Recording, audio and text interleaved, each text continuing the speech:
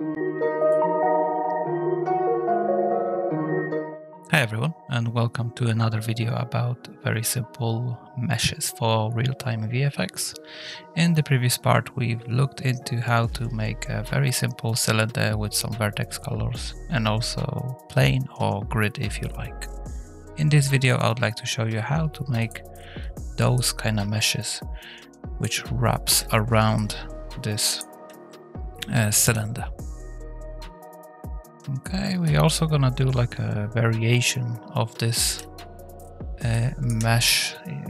We're gonna add a bit more curvy shape to it. So let me just switch to the other one, which is this.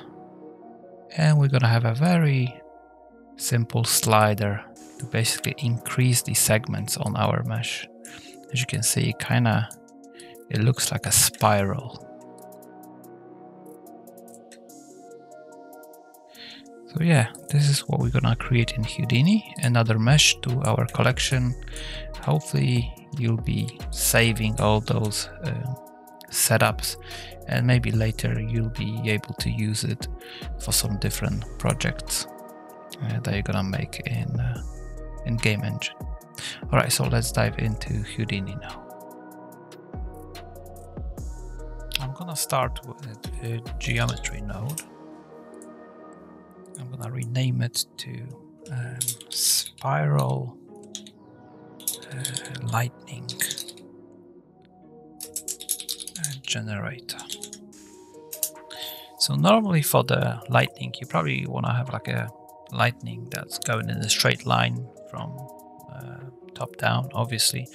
But uh, for this beam, I actually want this wanted this to be like a a little bit more three-dimensional because I wanted this uh, lightning spiral to wrap around the cylinder rather than being in a straight line. I hope that makes sense. So I'm just gonna create uh, this generator in case I'm I'm gonna need it uh, sometime in the future. So obviously I don't have to go and create the mesh from scratch. I already got the generator, so I'll have to only tweak a couple parameters uh, in order to get uh, the mesh that I actually uh, need. Right, so I'm gonna dive in and I'm gonna start with spiral. There you go, lab spiral. As in the previous video I mentioned, uh, you need to have a site FX labs installed. You can enable it by going into shells and here is the button that actually gonna create this shelf for you. And here you just have to update the toolset or install it if you have not installed it yet. It's gonna require uh, Houdini re restart. Uh, but once this done you got the the same tools I actually have. And also for my workspace I use games. Uh, here so feel free to change it to whatever you prefer. Right so we've got the spiral now. I'm just gonna press space and F on my keyboard in order to zoom in and that's what we've got. Uh, I've got those points enabled and to see the points you can just click this button. So what I'm gonna do, I'm just gonna add one to height. And maybe for the loops I'm gonna increase it to maybe two for now. As for the radius, I'm gonna do maybe 0.3 and 0.3 as well so it's not tapered. If you would like this to be tapered, maybe lower this to something like 0.1 and it's gonna start very wide and goes into the center. As for now, I'm just gonna create a spiral of this mesh to be um, roughly the same size. Okay, I'm just gonna decrease the amount of points maybe to 50 as we don't need much.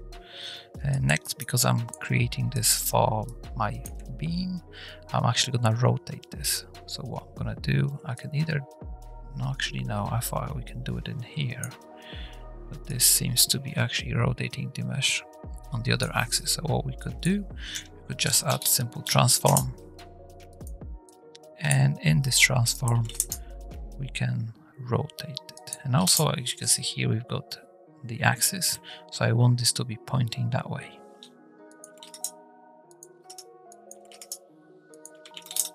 So in my case, it will be minus 90 on uh, z-axis.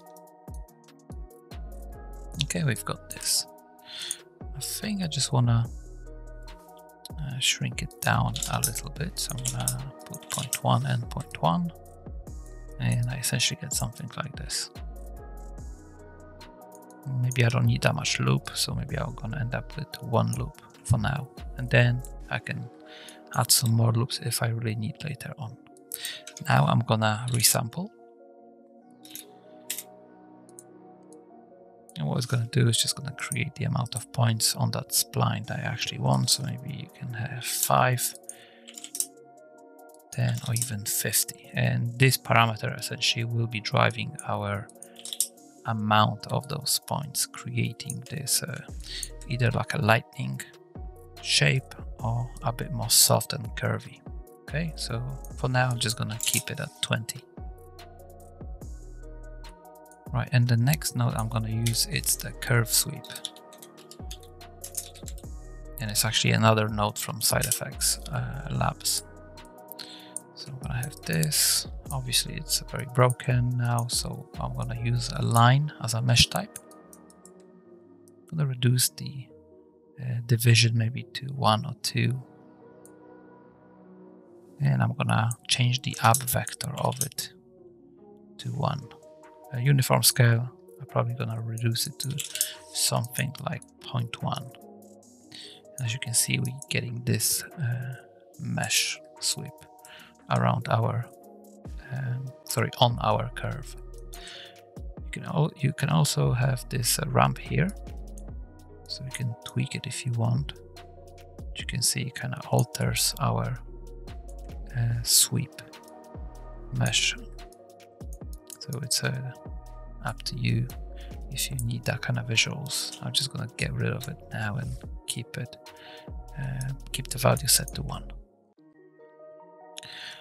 Uh, very often I create like a cross section of those uh, meshes because uh, if it's gonna be visible from various angles like this one, you're gonna have like a hard edge and part of this, like this bit, might be invisible in the engine and you might have like a break in your visuals. So I like to create a cross section of, uh, of this. So what I'm gonna do, I'm just gonna copy this curve sweep, paste it next to it, and I'm gonna merge those two. Okay, to actually preview what I'm doing, I'm gonna select one of the curve sweeps, set this to zero, and that usually does the job. As you can see, we're kind of getting this cross section, but often I like to change the values manually. So I'm gonna set this to one. And it seems like it's working. The only issue is now I've got the uniform scale in two, uh, two places. So what I'm gonna do, I'm just gonna uh, maybe from the first one, I'm I'm gonna actually click on uniform, right click, uh, copy parameter. I'm gonna go to the second one, right click, and paste relative reference. And now if I go here and change this one value, it actually changes in the in the both nodes.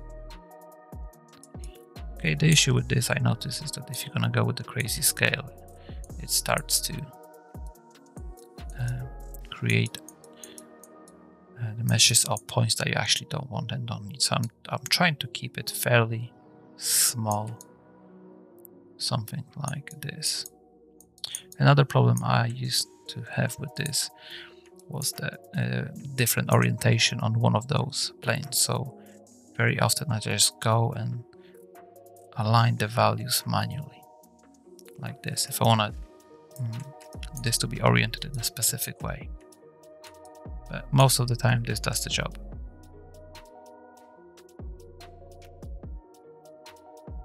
Uh, we can also preview the UVs. As you can see, those are actually uh, right here. So what I'm gonna do next, I'm, on, I'm gonna create UV transform. And I'm gonna use the same trick I used in the previous video. So in scale, I'm just gonna type uh, one slash size X. I'm gonna copy this and paste it into the Y input as well, but with Y at the end.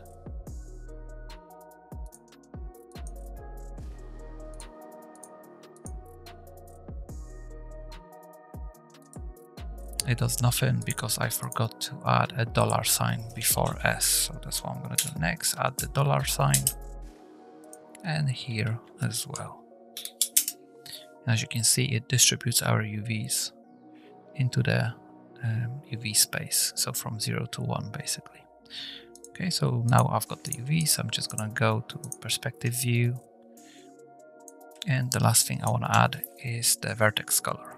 So labs or actually color. And I'm gonna use a labs color gradient node. I'm gonna enable it. Uh, the axis I want to use is actually X. And I want the vertex color to be black here and at the end. So I'm gonna change this to black. And in here, I'm gonna add 0.15 maybe, change it to white and another one you just click anywhere another one would be at 0.85 and it will be white as well. Okay so feel free to tweak this ramp uh, for your needs. I probably want to move this maybe to 0.3 and this one to 0.7 so the transition is a little bit more softer. Right so why do I need vertex color? So let's say I've got a texture that is panning across this uh, mesh. And I don't want like a very harsh or hard transition here. So I want this to appear very softly in terms of uh, translucency or opacity. And I want to disappear here, have like a soft transition into nothing as well. That's why I use this. Normally I probably use like a texture, but to avoid using textures, I'm just gonna use the vertex data for that mesh. Okay, so now as you can see, this is very soft. So what we can do, we can go to resample node and tweak the segments to maybe something like four. And we could get something that looks uh, more like a lightning mesh.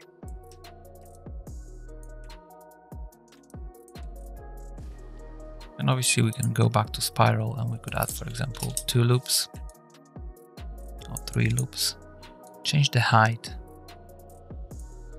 and the radius of it as well.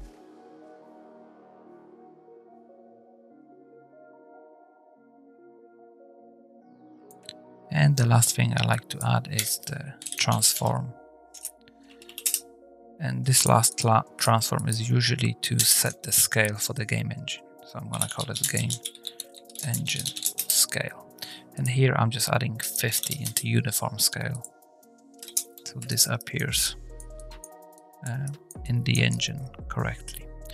And the last thing, as you can see, it's kind of offsetted uh, on the x-axis. So before I actually plug this into the transform that adjusts the scale, I'm gonna type uh, labs align axis uh, plug it in between and in here I'm actually gonna set the center to all three of those and it's actually adjust its pivot point now.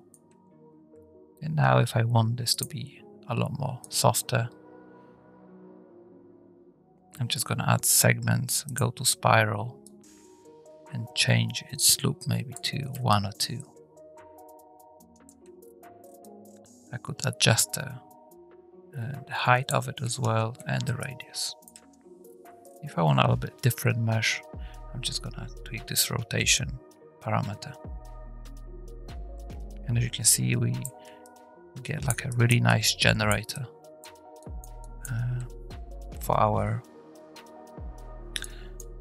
um, lightning or kind of like very curvy sweep mesh. The best thing about this is you can go to the curve sweep, for example, and adjust the ramp here. So for example, I'm just going to add another point here in the middle. I'm going to take uh, the start point and the end point to maybe 0.1. And I've got this nice taper effect now. But I have to recreate this in um, in the other uh, curve sweep as well. So I'm gonna do the same. set this to 0.5, value of 1, and this one 0.1, and 0.1 here as well. As you can see, it creates really nice tapered effect.